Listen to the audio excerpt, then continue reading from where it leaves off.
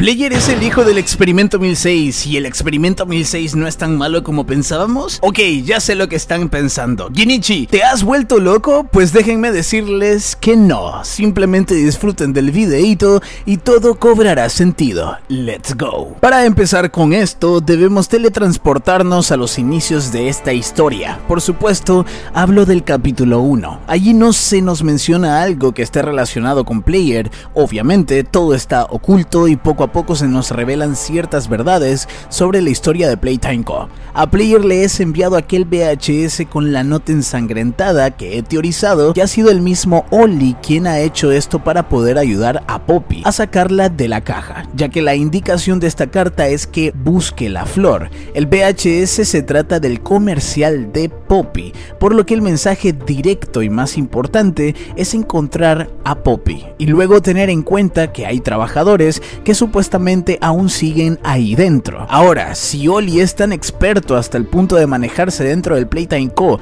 tal y como está ahora, con la tecnología y el peligro que existe ahí, hacerle llegar una carta a Player habrá sido pan comido. Pero esto no es tan claro como pareciera. Hay un trasfondo oculto en todo este plan que lo hablaremos más adelante. Luego llega el capítulo 2 a nuestras manos y es ahí que Mommy Lex reconoce a Player como ex empleado y nos damos cuenta de que Player no es tan inocente como pensábamos, gracias a las palabras de Mommy que cito textualmente. Siempre fue tan triste ver a los niños irse. Ellos me llamaban mami porque yo era lo más cercano que tenían a una, pero ellos solo venían por los juegos y nunca regresaban. Ellos dejaban a mami morir sola. Mommy no se merecía eso. Pero tú, tú trabajaste aquí, Así que si alguien merece morir solo, eres tú. La siguiente vez mencionado esto, es decir, el hecho de que Player trabajaba en la fábrica, es en el encuentro con la señorita Delight, pero ¿se han dado cuenta de que ninguna de las dos menciona el nombre de Player? Es como si solo conocieran su rostro por haber trabajado ahí, posiblemente porque el pasado de Player es algo mucho más oscuro, secreto y trágico de lo que pensamos. Además de eso, Delight nos pregunta cómo es que estamos vivos, pues se suponía que también Player sería asesinado en Playtime Co. en la hora de la alegría, pero no fue así. Según palabras de Poppy, la hora de la alegría fue una masacre sin sentido causada por el experimento 1006. En el VHS de la hora de la alegría se ven a muchos experimentos ya conocidos, quienes atacan a trabajadores y adultos que estaban dentro de la fábrica, sin titubear, sin importar quiénes eran. Pero ojo, con el siguiente dato, muy importante, no se ven cadáveres de niños por ninguna parte del VHS, y esto coincide con la declaración de la señorita Delight en su VHS donde hace un monólogo entre ella y ella misma haciéndose pasar por Catnap, cambiando su voz a propósito imitándolo. En esta cinta, la señorita Delight explica que le preguntó a Catnap sobre los niños, quienes están a salvo, confirmado por el mismo Catnap, y por supuesto pregunta dónde se encuentran. Las intenciones de Delight eran claras, matar y devorar a los niños, dicho por ella misma, por lo cual Catnap no le mencionó dónde se encontraban los niños, protegiéndolos y resguardándolos de la amenaza de la señorita Delight, seguramente por órdenes del 1006. Esto nos confirma que únicamente adultos fueron asesinados en la hora de la alegría, y a Delight le sorprende que un ex empleado como Player siguiera vivo por esta razón. Por lo tanto, ya vamos oliendo de que Player debía estar en Playtime Co. en la hora de la alegría. Era un plan muy importante. Sin embargo, mucha gente ha afirmado que Player no estuvo en la hora de la alegría, pero debo decirles que están muy equivocados y les diré por qué. En el juego se nos muestran diversas cosas del pasado de Player, pasado que el mismo Player parece haber olvidado, y del cual mediante los sueños provocados por Catnap, su humo pudo recordar ciertas cosas. Una de ellas es cuando aparecemos en una carretera frente a Playtime Co., como si estuviéramos yendo hacia allá.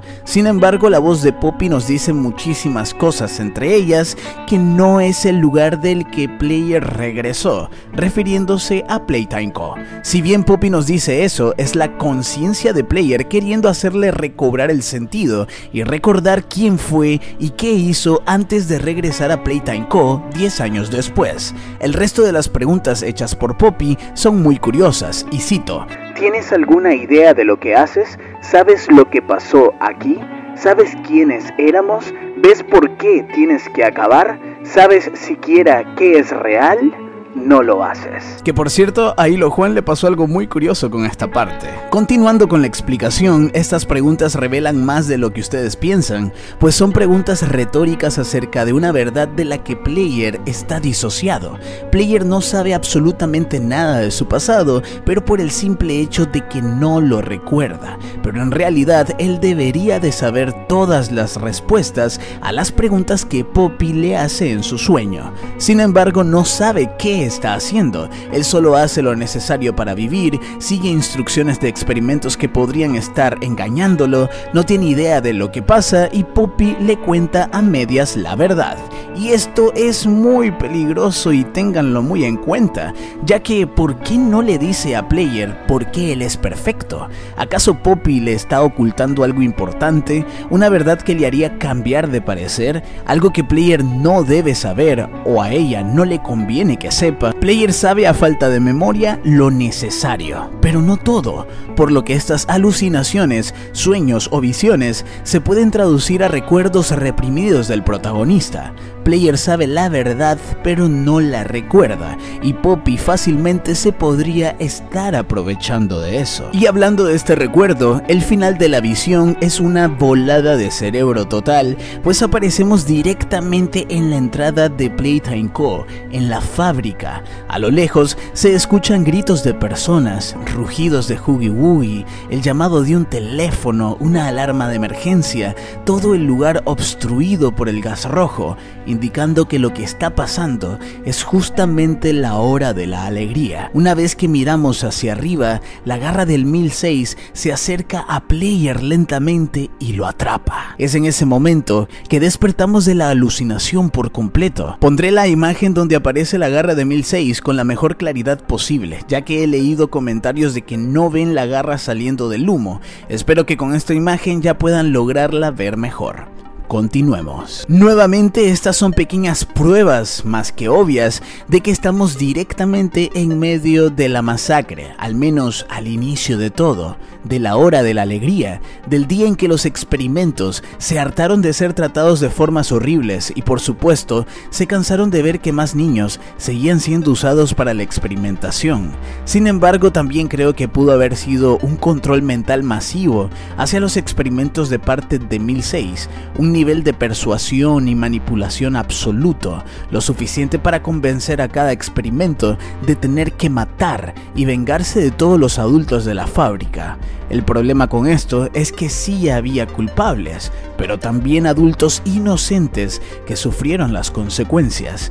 En la hora de la alegría no hubo reparo en asesinar a quien sea, exceptuando niños. Y ya hablaremos de este dato más adelante. La gran pregunta es, ¿por qué 1006 se llevó, capturó o raptó a Player el mismo día de la hora de la alegría? Y es aquí donde comenzamos a intentar darle conexión a nuestro protagonista Player con el experimento 1006. Así que presten mucha atención. Catnap habla sobre el 1006 como un dios, un salvador, un héroe, porque lo salvó. Llama al prototipo Ángel de la Salvación, visto en el mismísimo segundo teaser trailer del juego, Catnap escribió, vivo para servir a nuestro ángel de la salvación. Pues bien, el 1006 no es el único llamado ángel en el juego, así como Catnap no es el único que llama ángel a alguien, pues tenemos a Dog Day, quien llama ángel a nada más y nada menos que Player. Catnap y Dog Day son opuestos el uno del otro, el día y la noche, la bondad y la maldad, la inocencia y la suspicacia.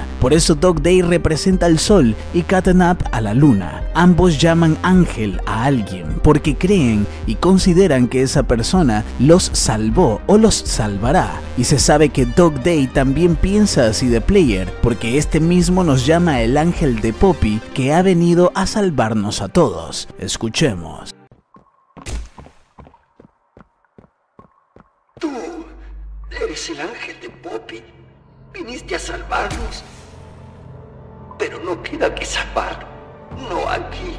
Dicho esto, estoy seguro de que ya saben más o menos hacia dónde estoy yendo. Es probable que de alguna manera Player sea la contraparte del prototipo, o que de alguna manera esté relacionado directamente con él. El prototipo, el lado oscuro, y Player, el lado de la luz. Pero ¿de qué forma podría ser posible? Sigan prestando atención. Es curioso cómo Katanab llama Dios al 1006 o incluso Ángel, pues según el rumbo que le hemos venido dando a la historia, 1006 es el villano, uno despiadado que asesina por puro placer y sed de sangre, por lo que este ángel al que llama Catanab fácilmente se podría interpretar como Lucifer en la tierra, el cual también está conformado por religiones o sectas hacia él mismo. Lucifer es un ángel caído y el experimento 1006 en ese sentido no solo representaría lo mismo, sino que también creo que 1006 cayó de alguna forma a nuestro planeta, por lo que sería una gran analogía de esa forma. Tengo la teoría de que el 1006 es un ser de otro mundo con una forma de vida robótica e inteligente muy superior a la nuestra. Esto porque él cambia su voz para hablar con el científico en la penúltima cinta que se ve en el tercer capítulo, en la cual habla con el científico Harley Sauer. Esto confirmado por los créditos del juego que quien le da su voz es Pedro Ruiz, la voz de Negan de The Walking Dead.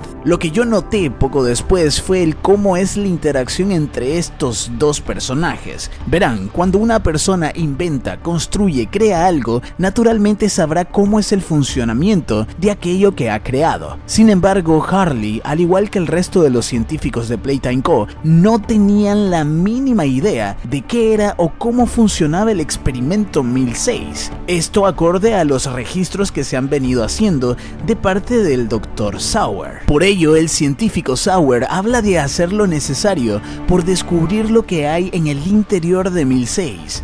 Y en el caso del 1006 tampoco es muy diferente. Escuchemos.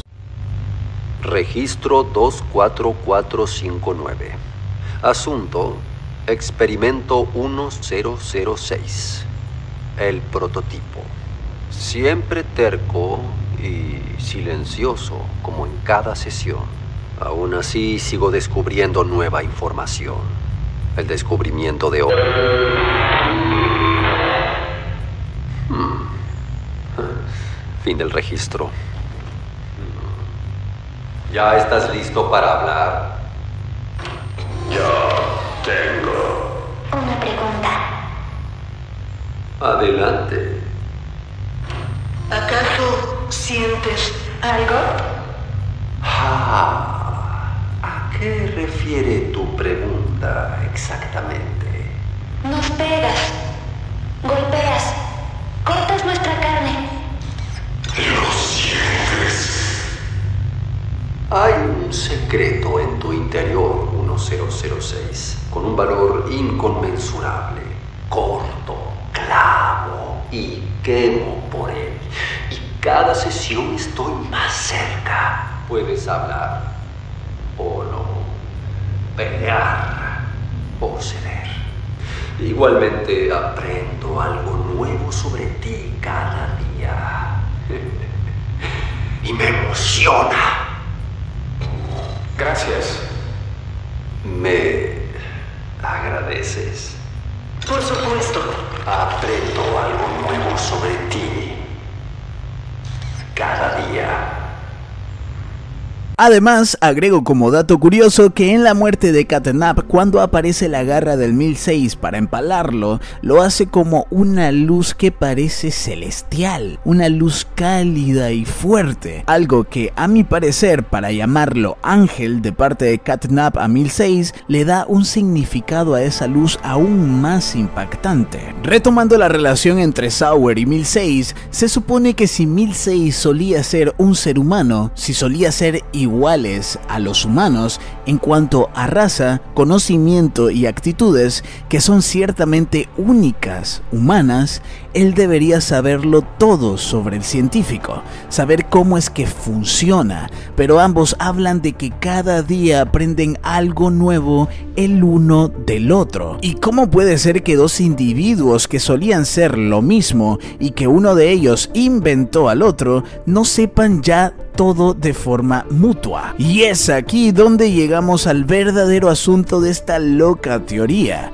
Para empezar, el 1006 es tratado como un dios por Catnap, como un ángel caído y como suelen aparecer los individuos de razas desconocidas en la Tierra en películas de terror cuyos enemigos son seres fuera de este mundo. Exacto, vienen del cielo, cayendo de él, así como lo hizo It o simplemente aterrizando. El 1006 no es algo que inventaron y crearon en Playtime, es un ser que cayó en ese lugar y creo que fue ahí donde Elliot tomó las medidas necesarias para investigar todo este ser, iniciando con asesinatos a niños en su propio hogar hasta que construyó todo lo que viene siendo el imperio Playtime, abusando completamente de esta nueva vida fuera de la Tierra hasta descubrir sus secretos, o sea, los secretos del 1006. Entonces, si asumimos que Player podría ser la contraparte de 1006, ¿qué y quién es Player? Antes de iniciar con la respuesta a esa pregunta, rebobinemos a los hechos del día de la hora de la alegría y mi afirmación de que Player estuvo en ese momento, estuvo ahí. Porque si para ustedes no es así, si aún no les convence, pues permítanme revelarles otra cosa. El audio extraño que se escucha en la primera alucinación de Player,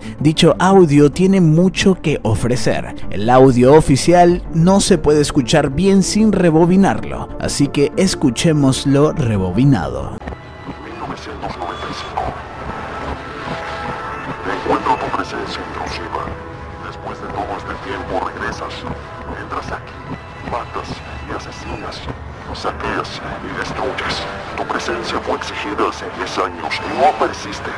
8, 8, 1995. Se suponía que debías estar aquí.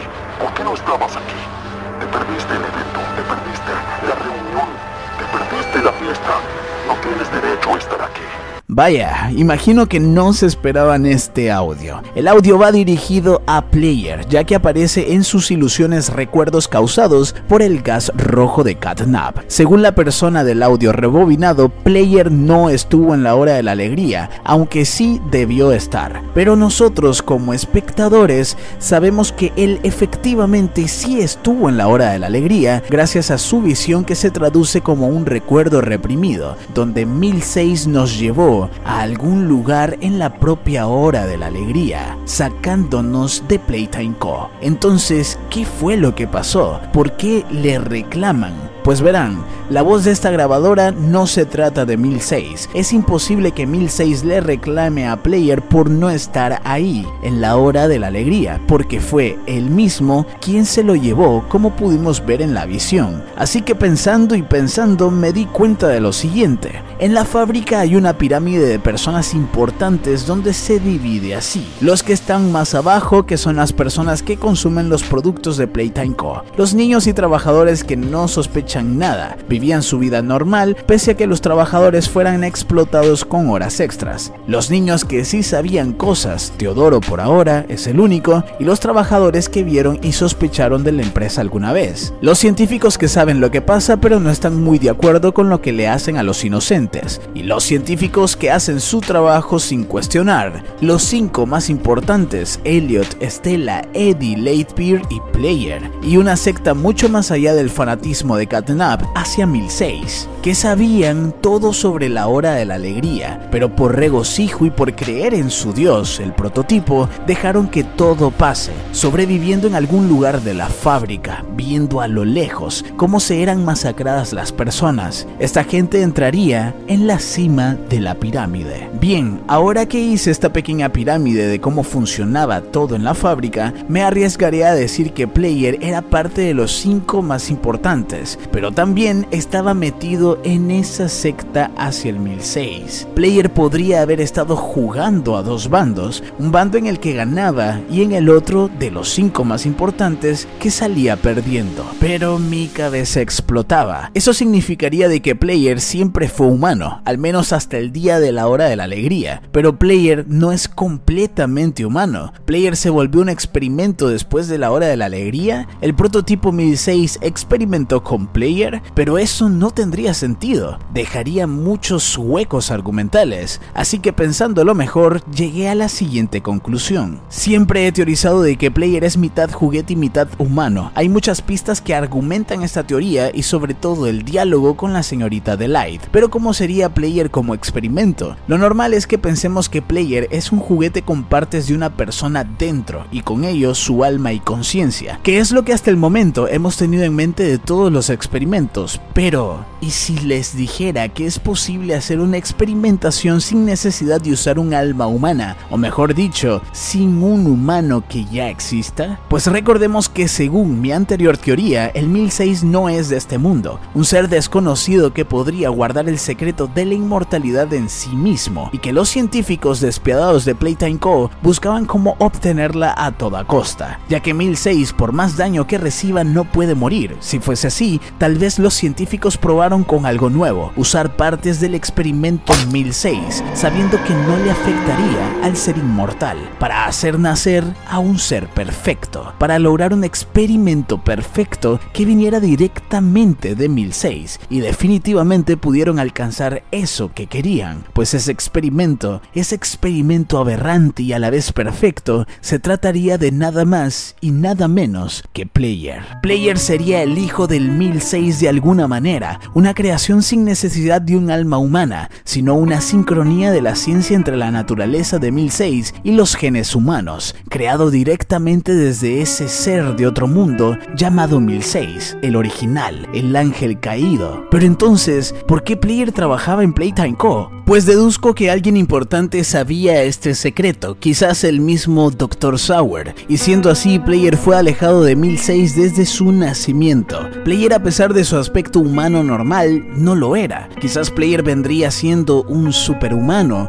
una nueva raza o mezcla superior a la de nosotros, debido a la genética del propio experimento 1006, volviendo a Player de cierta forma física parecido a un humano, pero con una naturaleza aislada y más especial, poderosa, hasta perfecta, pues literalmente Player sería el reflejo directo de la inmortalidad tanto buscada, o al menos aquello que se necesita para conseguirlo, por lo que Player fue criado en Playtime Co. como un niño más. Player vivió en el Playcare, Player hizo amigos en Playtime Co., estudió y se recreó ahí, se enamoró, creció y se hizo adulto, pero Player jamás supo quién fue su verdadero padre o madre, inclusive hasta pudo llegar a tener una familia adoptiva como los demás niños. Los padres adoptivos de Player podrían haber sido trabajadores de Playtime Co. Sin embargo, en algún punto, Player se involucró en el mundo turbio de Playtime Co. Lo inevitable sucedió, hasta el punto de que Player llegó a ser muy importante para todos los temas de experimentaciones con los niños, sin saber que su propio origen era el perfecto, convirtiéndolo en una mala persona. No fue hasta el gran día, hasta la hora de la alegría, que Player salió de esa vida como tal. El 1006 lo secuestró, secuestró a su propio hijo, alejándolo no solo del peligro, sino de aquella miserable vida. Le borró sus recuerdos y permitió que regresara a casa como si nada hubiera pasado. Años después, Player sería buscado por Oli y Poppy para ayudar a todos en la fábrica, pues Player al ser la contraparte de su padre-madre, al ser el experimento perfecto, tendría capacidades que ningún otro experimento tendría, la suficiente como para inclusive vencer a su propio padre, 1006. Siguiendo la lógica de esta teoría, el 1006 solo es el villano de una historia mal contada. El 1006 cometió una masacre en la fábrica, matando a todos los adultos que había en ella, vengándose sin piedad de todo lo que hicieron y lo que le hicieron. Porque al fin y al cabo, si el experimento no es de este mundo, su naturaleza es sobrevivir, ser libre, y esta ha sido la forma de hacerlo. Pero los niños están a salvo. Catnap los resguardó junto al 1006 para que ningún experimento les hiciera daño, porque la ira del 1006 no es contra los niños, sino contra los adultos que tomaron las decisiones necesarias para alcanzar este punto. Tal como la señorita de Light dijo, Catnap no le dijo dónde están los niños, ya que si lo hacía, él sabría que ella los mataría y se los comería, cosa que 1006 y ningún secuaz quiere y debe cumplir estas órdenes de parte del 1006. Siendo así, 1006 tiene piedad por los niños, por esos seres de luz que jamás le hicieron daño y con los que alguna vez convivió canónicamente en el Playcare. Esto confirmado por uno de los documentos del ARG. Después del incidente con Teo, al parecer 1006 no fue regresado a los laboratorios principalmente, sino que lo dejaron junto a Katana por un tiempo, al parecer para estudiar su reacción después de lo sucedido. 1006 ha hecho todo por salvaguardar a los niños para detener las de parte del hombre, algo que no aprendió del ser humano, sino que más bien lo rechazó, lo odió. Esto también nos daría la razón de por qué Katanap, pudiendo matar a Player siendo una amenaza inminente usada por Poppy, no lo hizo. En las oficinas simplemente nos empuja y nos quita la máscara, pero claramente no tenía permitido matar a Player, ya que Player es hijo del experimento 1006, es parte de él. Sin embargo, al final Katanap se rebeló e intentó deshacerse de Player, y a pesar de haber fallado, 1006 tuvo piedad de él. Y a diferencia de Mommy, que se llevó lo que restó de ella hacia la oscuridad, a Katanap se lo llevó a través de la luz. Y con esto queda más que claro que a 1006 a pesar de todo, sí le importó Teodoro hasta el final, pues no fue el experimento 1006 quien experimentó con él, fueron los propios adultos quienes le dieron ese cuerpo abominable. 1006 no permitiría que Teodoro sufriera de nuevo lo mismo que sufrió por su culpa cuando era niño, al haberse electrocutado, y por eso le ha cesado su dolor él mismo de una forma rápida, y capaz también haciéndolo parte de él. Y claramente Poppy sabe cosas, ella fue encerrada por el 1006, ¿no les parece sospechoso que él hiciera esto y encima que Poppy siga sin contarnos detalles importantes de lo sucedido? Se supone que nos conoce, que sabe quién Player, y si lo hace, no tiene remordimiento por usar como arma a Player para matar a su propio progenitor. ¿Qué oculta realmente Poppy? El 1006 salvó a Katana por una razón, era un niño inocente sin culpa, el prototipo pudo haber escapado, cansado ya de tanto sufrimiento y que a causa de él tantos inocentes salgan heridos. Sin embargo, como Teodoro resultó gravemente herido, quizás pudo ver reflejado en él a ese hijo que perdió, de quien lo separaron, o sea, Player. Y es por eso que 1006, él o ella, aunque no tuviera contacto con Player de ninguna forma, tuvo empatía. Salvó a Teodoro porque es algo que habría hecho por Player, sacrificando su libertad. Otra situación es que el 1006 es enorme, podría atacarnos cuando quisiera, sin embargo jamás lo hace, siempre se lleva el resto de los cuerpos que mueren, e incluso la muerte de Catnap podríamos verla de otra forma, la forma en que 1006 prefiere matar a Catnap cuando se ofrece a él y así evitar que mate a su hijo Player. Ahora bien, regresando a la pregunta anterior, ¿qué es lo que oculta Poppy? ¿Por qué ella querría matar al experimento 1006 si verdaderamente es bueno? Pues hay dos teorías. La primera es que es una trabajadora que desea fervientemente ser un experimento perfecto igual que Player, o sea, igualar de alguna forma la naturaleza del 1006. Y la segunda es que el alma de Poppy está corrupta ¿Por qué lo digo? Verán, la teoría de que Poppy tiene dentro suyo el alma de la hija de Elliot Ludwig sigue en pie. Pero, ¿qué cuerpo podría resguardar el alma de una niña que ya estaba muerta? Es decir, los huérfanos obviamente eran niños que podían terminar siendo asesinados en el proceso, pero no hay registro de que se ocuparan realmente a un niño muerto, sino que se ocupaban a los niños vivos. Estos niños vivos serían sujetos de pruebas para experimentación que podrían resultar exitosas, pero antes pasaban por pruebas mensuales, habían pruebas para ellos cuando estaban vivos, después de todo debían buscar al mejor candidato para hacer el siguiente experimento del modo que ya se especulaba hacerlo, pero la hija de Elliot, según la teoría, murió y fue desde entonces que Elliot tuvo una decadencia, buscando formas de revivir a su pequeña y a consecuencia creando una versión malévola y corrupta Gupta de Poppy. Esto me hizo acordar a dos películas, Cementerio de Mascotas, película donde muestran que al enterrar tu mascota ya muerta, al regresar a la vida como zombies son corruptos y seres agresivos, hambrientos y llenos de sangre. Y por supuesto, Winnie, película donde el protagonista logra dar vida a su perro gracias al amor que siente por él. A causa de esto, el perro actúa como solía actuar cuando estaba con vida, al contrario de sus compañeros que revivieron animales random por el simple hecho de querer ganar un concurso, poniendo a todos en riesgo con animales salvajes y muertos en vida. Ahora, si esto es lo que llegase a pasar en la historia, estaríamos frente a un plot twist increíblemente genial, pues no solo descubriremos que somos hijos, sino que todo el tiempo hemos sido parte de él, del experimento 1006, cosa que ningún experimento no devoto quiere ser, pero que además 1006 sería el villano de una historia mal contada, a diferencia de Poppy y los posibles muchos científicos que adoran al experimento 1006 de una forma macabra, pues al fin y al cabo 1006 es un ser lejos de casa, en un lugar hostil como la Tierra donde los verdaderos monstruos son los humanos egoístas con ansias de poder, que no importa sobre lo que tengan que pasar con tal de lograr su objetivo, lo harán, por lo que Elliot Ludwig, siendo parte y líder de los cinco más importantes, quizás ni él conocía el nivel de maldad en su propia compañía, quizás Elliot vaga como un experimento más en la fábrica, esperando a ser liberado, pero sin oportunidad de redención por todo lo que permitió en su propio hogar, por traer de vuelta a la vida a un experimento errático como Poppy, que como dije antes, por una razón mayor y sanguinaria, el experimento 1006 la encerró. Quizás Poppy es parte de aquella facción que aún existirá en Playtime Co., donde no importaban ni niños ni adultos, una facción que ahora se mira con brazos cruzados al no poder usar al experimento 1006 para seguir experimentando, y mucho menos a los niños. Y es ahí donde entra la misión de Poppy,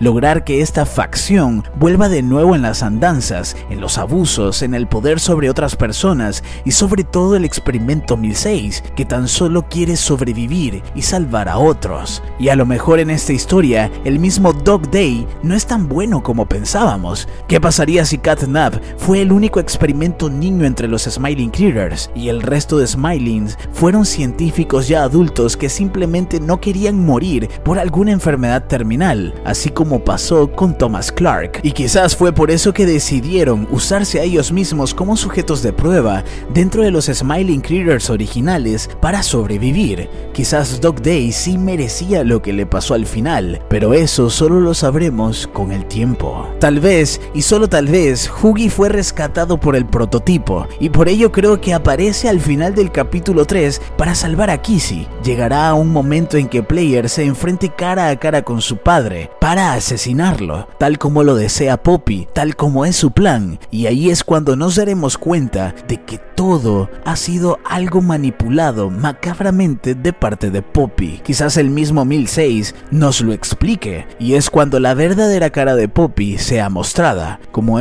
experimento corrupto, lleno de venganza que siempre fue. Hemos llegado al final del videíto, así que si te ha gustado no olvides de dejar ese poderoso like y si eres nuevo por aquí te invito a suscribirte, activando la campanita para más contenido de Poppy Playtime y las próximas teorías e historias que estaré subiendo.